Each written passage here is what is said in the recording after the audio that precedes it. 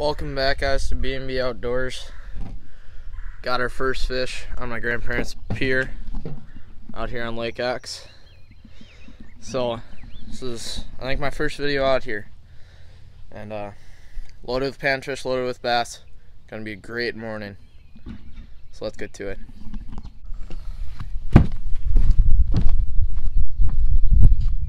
Alright guys, today using this little fly jig for normally crappies, but I just got a gill on it. Let's see if we can pull one off for the viewers right now. So I'm walking the end of the pier. I'll be very quiet.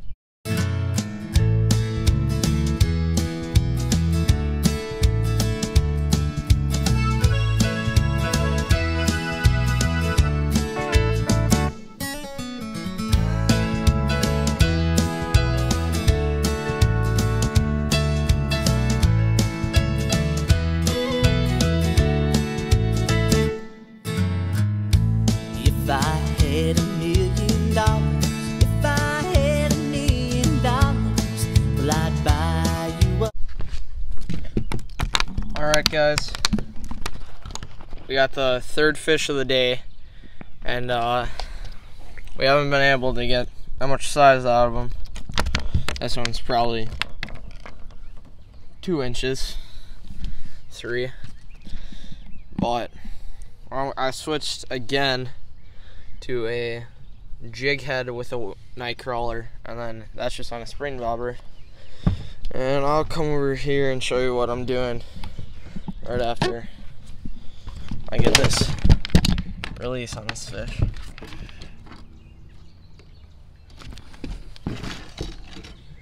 So you just gotta take the hook,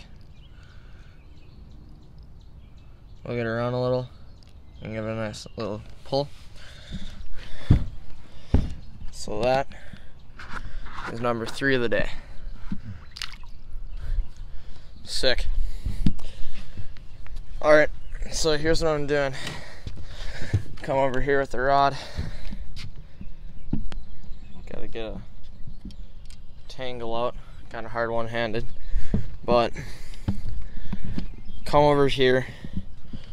Got the bobber. And there's just this police boat. And uh, you can't see the fish. Most likely not, but I don't think you can. So just drop it in like that. And if you guys can see that bobber, already getting some action. All right, there's, oh, missed him. Let's try again.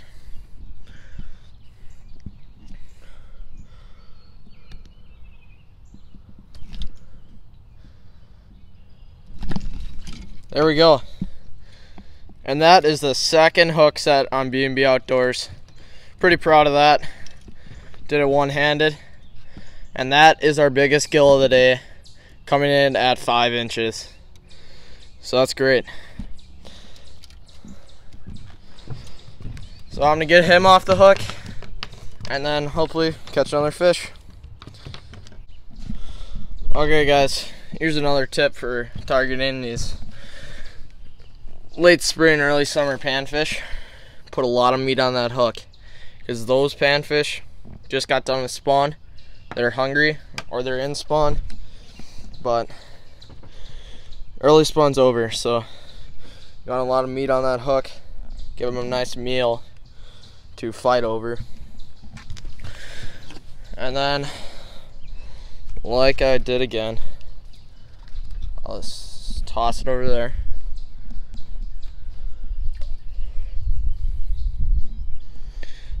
right there.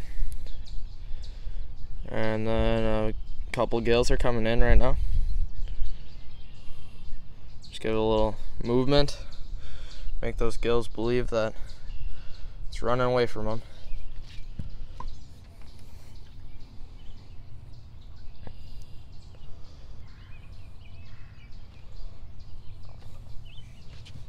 Oof.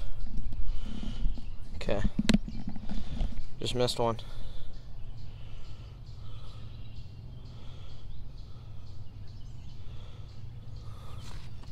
Oh man. I gotta figure out how to do this solo cameraman thing. Ooh, whoa, big rock bass, guys. I'm pretty sure it's a rock bass. Might be a crappie. Nope, it's a rock bass. These are also in the pier, and they are aggressive little buggers. But this one, probably around eight inches. I don't keep rock bass because they're kind of a dirty fish, but we can get the tape on for this one. Getting a lot of hook sets on camera. If you guys like that, leave a like on the video. Oof. Into the weeds. Okay. Hopefully we can get them on this tape. Set the camera up right there.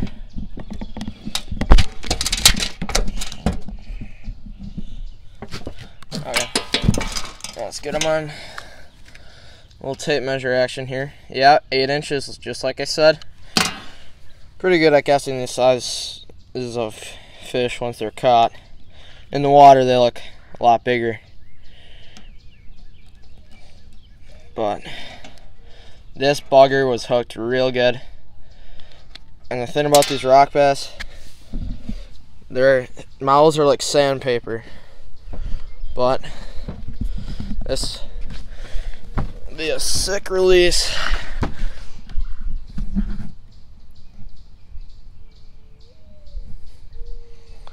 Majestically slow.